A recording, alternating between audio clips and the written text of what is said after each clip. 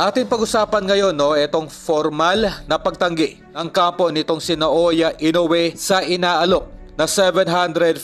million pesos or 13 million dollars na guaranteed purse na handang ibigay ng Saudi Arabian billionaire na si Turkey Al-Sheikh dito kay Inoue para lamang sana lumabas ng bansa nito sa Japan. Dahil ayon pa sa kampo no, nitong si Naoya Inoue ay hindi raw sila lumalaban para sa pera at mas binibigyan daw nila ng halaga ang karangalan at reputasyon ng kanilang bansa sa larangan ng boxing. Ganun pa man ay hindi pa rin maalis no, para sa mga American boxing fans. Itong uh, pag-iwas ni Naoya Inoue na lumabas ng baluarte nito kung saan ay hindi raw praktikal natanggihan ni Inoue ang halagang 750 million pesos para lamang sa pride nito na hindi umalis ng balwarte. Kumaga ay dito po ay hindi na maiwasan no, na magkaroon ng mga kaliwat kanang spekulasyon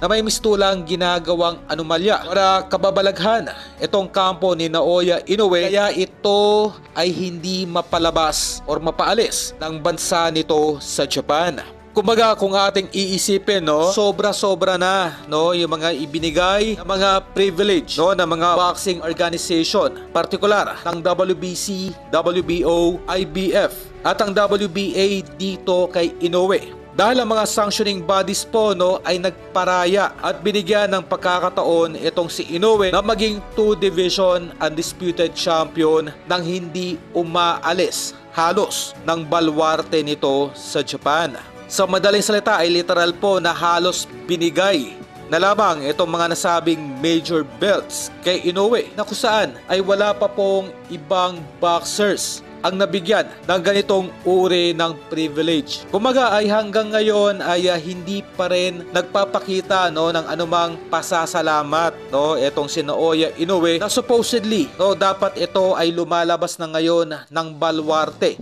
upang tumanaw ng kahit papaano no ng utang na loob sa mga nasabing sanctioning bodies na nagbigay sa kanya ng oportunidad na maging 2 division undisputed champion nang hindi man lang maalis ng lungga nito sa Japan.